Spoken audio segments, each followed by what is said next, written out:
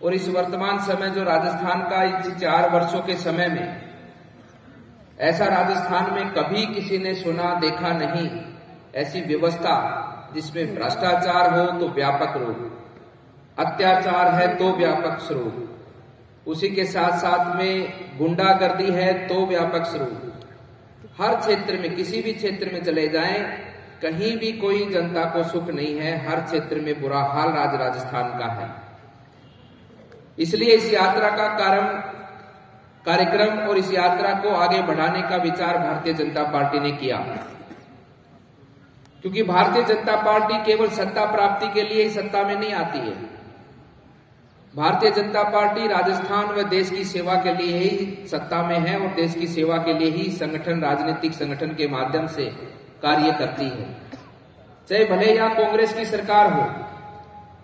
लेकिन समय समय पर जब भी जनता पर अत्याचार होता है, जहाँ भी हमारे माताओं बहनों की इज़्ज़त लूटी जाने की प्रयास किया जाता है, कांग्रेस के गुंडागर्दी के लोगों के माध्यम से, जहाँ भी यहाँ पर अवैध रूप से